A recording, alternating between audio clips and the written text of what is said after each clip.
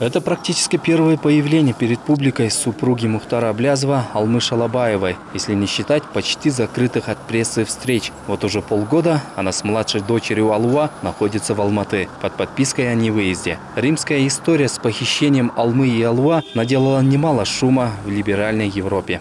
Там у меня еще трое детей в Европе. У меня там еще двое внуков. И, конечно, я хотела бы э, быть вместе с ними.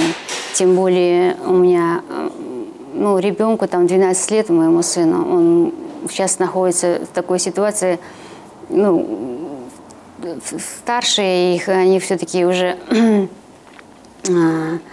так сказать, взрослые, а ему 12 лет, и он сейчас находится без матери и отца, и ему, конечно, очень тяжело. Я хотела бы, конечно, поехать к нему.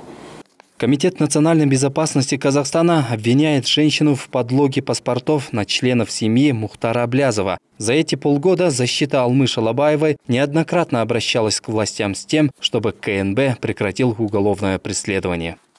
Нет паспортов, нет дела. Все.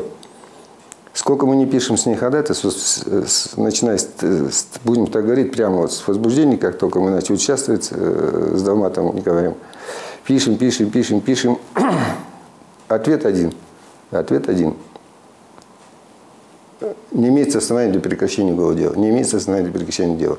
Я так понимаю, что они и не хотят прекращать уголовное дело, и не хотят направлять в суд. Между тем, похоже, никому не понятен даже статус Алмы Шалабаевой и ее дочери. Ведь у них на руках нет документов, которые хотя бы просто удостоверяли их личности и гражданство. На этом, по крайней мере, настаивают ее адвокаты. В ЦОНе нам сказали, что после решения суда они могут э, выдать новый паспорт.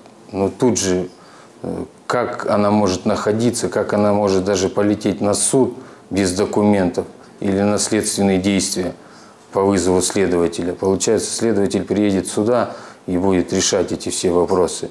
Здесь полное недоразумение. Все эти полгода Алма Шалабаева и шестилетняя Алуа проживают у родных. Только иногда об истории с захватом и депортацией напоминает Алуа, когда поет песни на языке Данте.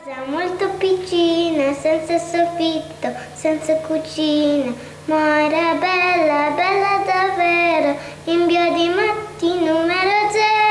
1 сентября младшая дочь Мухтара Аблязова, как и все дети ее возраста, должна была пойти в школу, но по известным причинам так и не пошла.